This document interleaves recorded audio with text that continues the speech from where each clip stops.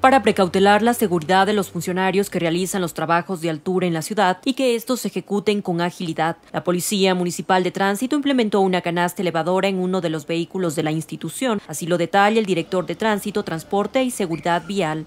Esto con la finalidad de dar mayor seguridad al personal al momento que ellos realizaban una reparación de un semáforo, eh, por lo general estaban utilizando escaleras de una manera muy riesgosa, estaban realizando este tipo de actividades. Actualmente con esta canastilla lo están haciendo de manera segura, el trabajo lo están realizando de manera más eficiente y obviamente lo que estamos haciendo es eh, siempre garantizar de que el sistema de semáforos de la ciudad esté funcionando de manera adecuada.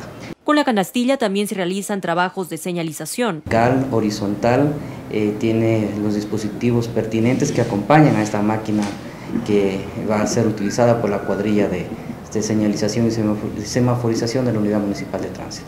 La implementación de esta canasta elevadora permite realizar intervenciones en las parroquias del Cantón Loja como aporte a los trabajos de altura. Adicionalmente nos va a permitir también eh, hacer el corte de algunas ramas que en, altura están impidiendo la visibilidad de los conductores al momento de poder eh, observar eh, con claridad un semáforo. El objetivo de la institución es que los funcionarios ejecuten estas actividades con seguridad. El dispositivo permitirá prevenir accidentes.